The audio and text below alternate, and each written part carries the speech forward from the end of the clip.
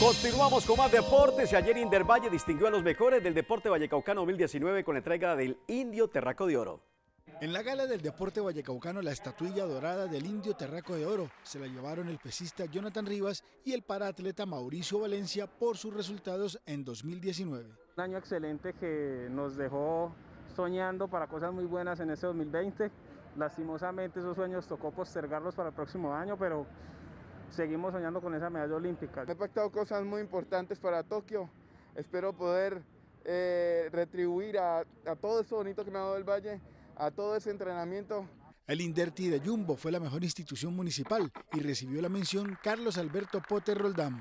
Cerrar un excelente año 2019, el 2020, pues con todo lo que hemos tenido, pero igual seguimos trabajando con el deporte. En las otras 14 categorías, la pesista Valeria Rivas fue la deportista revelación y el Torneo Internacional de las Américas el mejor evento.